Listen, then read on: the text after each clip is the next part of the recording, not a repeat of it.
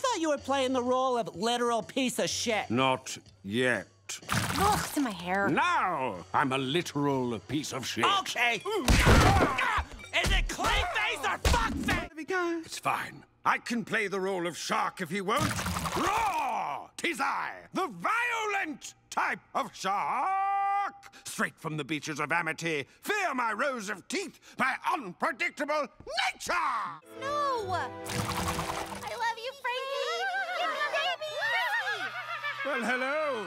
It is I, Frankie Muniz. I love you, Frankie! Thank you, Fred. Oh, I'm getting hard. Please, my phallus is not erect. It's my leg. Hmm, What do cops love? It is I again, your fellow officer. Hello, chums. I come bearing horrible news. Joker has kidnapped Bruce Springsteen. Some rat fuck stole the boss. Don't worry, the boss. We're coming for you, boss. That's right, Mayor. We'll raise the temperature of Gotham by one degree every minute till you give us a billion dollars. And you produce Clayface's Fuller House reboot, Fullest House. I have an inexpensive way in, not more people. A smaller house. Yes, noble god, it is I, the Aquaman, protector of the deep blue and all its inhabitants. It is an honor. I'll apprehend these air breathers. You give chase to their co-conspirators. Yes, my liege. You with me, Constantine?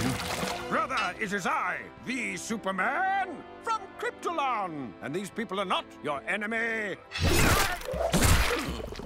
Not my worst review. And they only have potato chips with the weird Korean flavors. Cheddar and octopus ranch could be delicious. I will give it a whirl. Why, Lord?